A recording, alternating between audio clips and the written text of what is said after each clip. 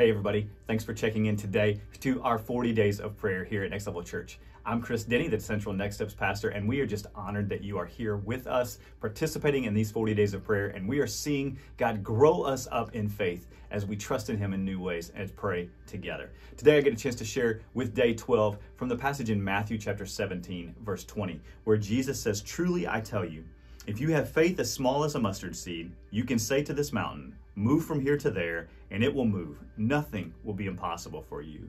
Jesus is brought uh, by his disciples a, a, child that he that, that they were unable to uh, pray healing from a demonic possession just a, an extreme circumstance and and they were struggling with that and jesus reminds them that it is the size of their faith that that moves mountains in in this case. And so often people focus in this passage on the size of the seed but Jesus didn't want his hearers focusing on the size of the seed but on the potential of the tree.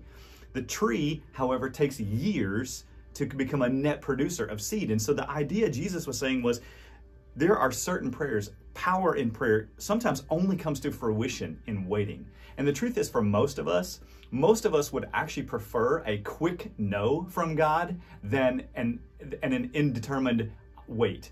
And so we have a sense of, I, I, would rather you just tell me no, God, than to make me wait. And yet, the reality we understand Jesus saying is that faith that waits has the power to move mountains. He didn't say that the mountain would move instantly or immediately.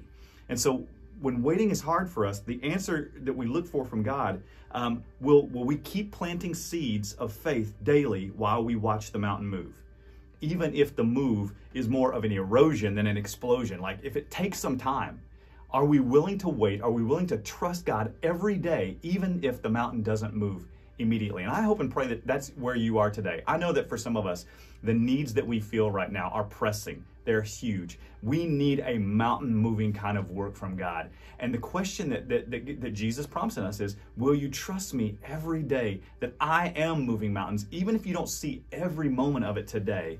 Will you trust me to move this mountain in the way that I choose? So will you wait on me? And so if you're if you're waiting today, if there's a need you've been waiting for God to move in, one of the things I would encourage you in is Let's see today what God has already done and believe that He's continuing the process of bringing hope and the answer that we're, that we're longing for. So let's pray together.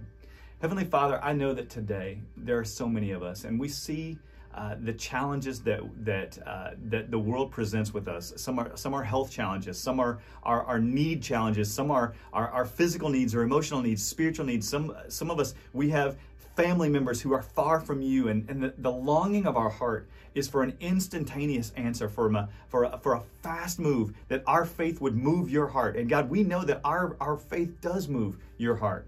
But today, I pray for those who feel like that they've been waiting and they are not sure that they have the strength to wait any longer. God, I pray that you would remind them from the, the, the, passage in Isaiah that, that those who wait on the Lord will renew their strength. God, that you're renewing something in them day by day as we wait patiently on you to continue to bring the answer and the hope that you desire for us.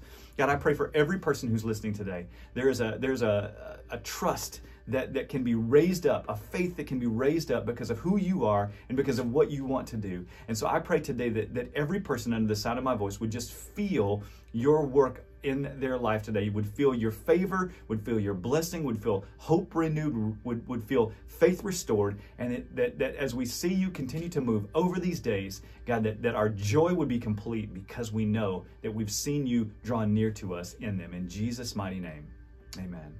Well, hey, we're thankful that you are a part of this journey. We, we want to encourage you to continue praying that this 40 days is not just not, not just a, a, a moment in time, but really are a movement that God is doing day by day. And we want you to lean into that each day. Invite others to join you on that journey. We just believe that God's answers for you are going to be more than what you can ask or imagine. And we're believing that for you and with you. Thanks for checking in today. We look forward to seeing you tomorrow.